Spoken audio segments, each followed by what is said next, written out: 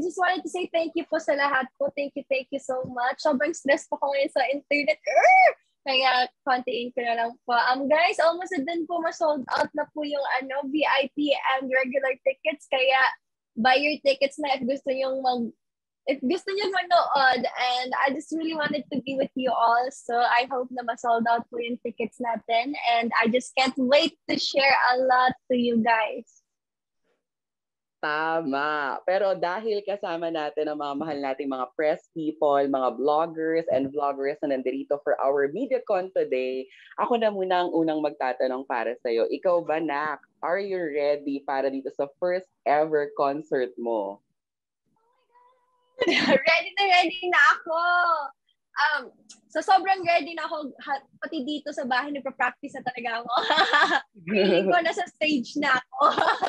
harap ng salamin, no? Kumakanta-kanta ka na. Yes. Can you tell us about your preparation for this event? Um, I just keep on singing and I made sure then that my health is good.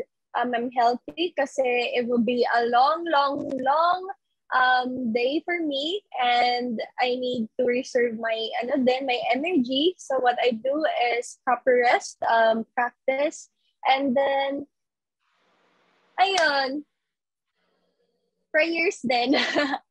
Totoo. Ano bang feels ang ibibigay mo sa lahat ng mga sunshines na manunood sa'yo?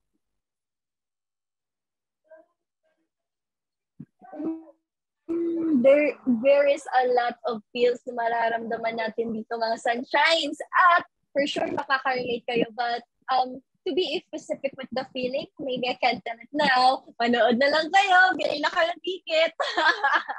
Totoo.